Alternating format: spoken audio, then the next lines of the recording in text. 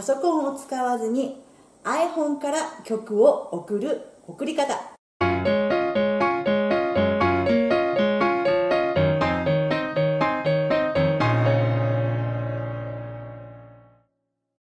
皆様こんにちは。エアリースタジオのナシームです。最近2回この YouTube をちょっとお休みしました。っていうのはコロナも明けてイベントがね盛りだくさんなんですよね。でありがたいことにたくさんオファーをいただいておりましてそちらの出演だったりとかあとは9月17日エアリースタジオの発表会があるんですね。これの準備で今すっごく忙しくって YouTube の方にちょっと今手がなかなかかけられない状態なんですよ。3年間続けてきて休んだことがなかったので本当ね休みたくなかったんですけれどもねあんまりにもあのスケジュールが詰め詰めでもうさすがにちょっと無理ということであの先週はちょっとお休みさせていただきました。発表会が終わるまでもしかしたらまたねあの動画が上げられない時が来るかもしれないんですけれどもちょなんか楽しみにしてくださってる方もいらっしゃるのであのなるべくね休まないようにはしております。ショート動画もあの金曜日が結構忙しいので上げられない時があるんですけれども水曜日はね休まずに上げようと思っておりますのであのショート動画の方もよかったらねご覧ください。パソコンは Mac を使ってるんですね。MacBook Air、MacBook Pro、iPhone 6、iPhone X を使っております。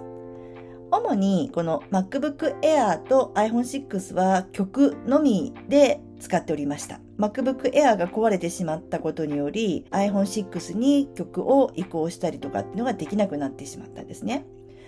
で、その iPhone 6にたくさん入ってる曲を MacBook Pro に移したかったんですけれども、それができなかったので、今回このやり方を知りました。だからもうまめにね、ハードディスクに入れたりとか、クラウドに曲を置いとくっていうのもね、大事だなと思いました。今はね、iTunes とかじゃなくって、Apple Music とかね、そういうのがたくさんありますけれども、この携帯に入ってる曲を送りたいけど、パソコンがなくて送れないとか、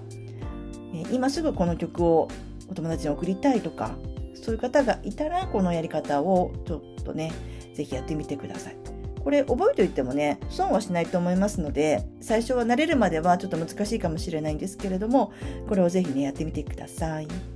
はい。では、やってみましょう。簡単にこの携帯からあのすぐに曲が送れるので家帰ってからパソコンから送るねとかそういうのも面倒なことがなくなってくるしここからサクッと送れるので、まあ、それはそれでいいかなって思うので今日このやり方をお伝えしたいと思います。iPhone に必ずついているこの、え GarageBand。これを使って曲を送っていきたいと思います。まず、この GarageBand を開いていただくと、このように、オーディオレコーダーっていうね、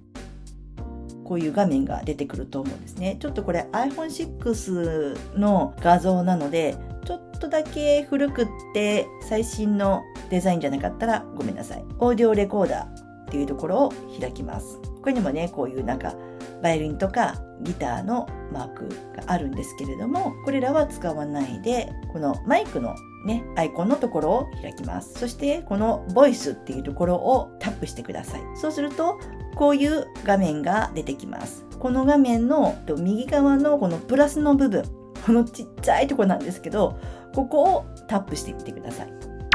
そうすると、このように、えーソングセレクションっていうのが出てきて、セッションの長さが出てくるんですね。で、今自動になってるんですけれども、これは、えーと自動にしておいた方がいいですね。マニュアルだとね、こう何小節みたいな感じで自分で合わせなきゃいけないんですけれども、自動だったらやってくれます。で、自動にしたら、えー完了ボタンを押します。完了ボタンを押したら、またこの元の画面に戻ってきます。右上のループみたいな今、なんか丸1って書いてあるところありますね。ここのところを、えータップします。そうすると、このような感じで、Apple Loops とか、ファイル、ミュージックっていうのがね、出てくるんですね。で、まあ、ファイルに保存してあれば、まあ、ファイルでもいいんですけれども、だいたいミュージックのところに入ってると思うので、今日はミュージックの方をタップしてください。そうすると、このような感じで、まあ、アルバムとかアーティストとかプレイリストって出てきます。で私はまあ大体プレイリストに分けているので、プレイリストの方をポチッと押します。そうすると、ちょっとすいません、いっぱいいろんな曲が入っていて、ちょっと恥ずかしいんですけれども、いろいろレッスンによって曲を入れてるんですね。まあ今日ちょっとストレッチっていうところを入れたいと思います。曲92曲が入ってますね。ここのストレッチをピョンってやると、まあこんな感じで、なんだかね、こう、ストレッチで使えそうな曲がいろいろ入ってるわけですね。ね。えっ、ー、と、このね、今日はこのタリークですね、つねみさんの、えー、曲、これ CD を買って、えー、一個一個ね、こう、手入力で入れたものなので、これが、え、今パソコンに入っておりませんので、今日は私の大好きなクールな慣例っていう曲を、この曲を送りたいと思います。この曲を、えっ、と、ちょっと長押しして、ドラッグドロップみたいな感じですね。これを長押ししたまま、さっきのページにこう移して、スライドして貼り付けます。で、貼り付けるとこういう感じで曲が画面に映るんですね。左上の三角のボタンを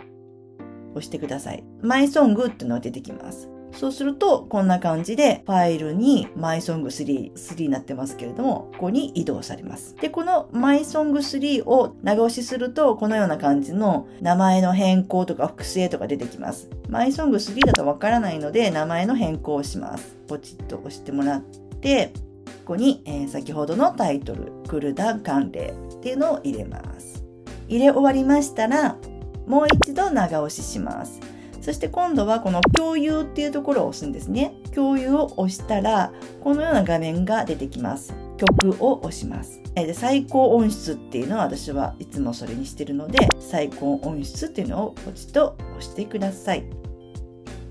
そうすると、このような画面が出てきて、まあ、次の方法で開くとか出てくるので、ここをタップします。曲を書き出し中っていう風になりまして、携帯またはパソコンに入っているファイルですね。曲っていうファイルをパソコンにちょっと Mac 連動してますから書いてあるんですよ。このところに入れております。で、そうすると、パソコンの方にもう勝手に入ってるんですね。Mac って本当に優秀で。MacBook がない場合、人に送るときは、こうやっていろいろあるんですよ。AirDrop とかね、LINE とか、えー、あるんですけれども、Gmail をちょっとやってみたいと思います。Gmail ポチッとすると、また書き出し中になりまして、それで今度は、勝手にあの Gmail のアドレスのここに添付されてます。なので、送りたい人のメールアドレスを打ち込んで送るだけ。で、エアドロップもできます。エアドロップは携帯同士だとちょっとファイルに保存みたいな感じになりますけれども、パソコンだったらま普通に曲が送れます。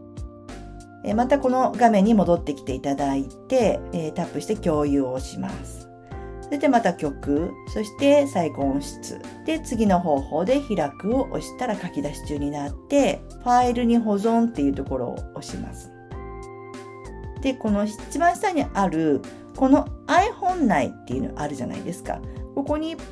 ここをポチッとすると、この携帯のこういうね、ファイルがあると思うんですけれども、このファイルの中に先ほどの曲が入っているので、ちょっとタップして開いてみてください。そうするとこんなような画面が出てきて、この iPhone 内っていうのがあるので、まあ、そこをもう一回開いていただくと、こんな感じでね、曲が入ってるんですね。ちょっといっぱい入ってて、あれなんですけど、まあ、全部ベリーダンスの曲ですね。このクルダ関連の、このなんか音量がギザギザになってる方ですね。ここをタップしてもらえるとこういうふうに出てきます。で、こうやって出てくれば、ね、ここの一番下のエアドロップとかするときに使うような、これ。これが出てくれば、そう、エアドロップができます。これ、私の、えー、MacBook なんですけれども、これをポチッとやると、私の MacBook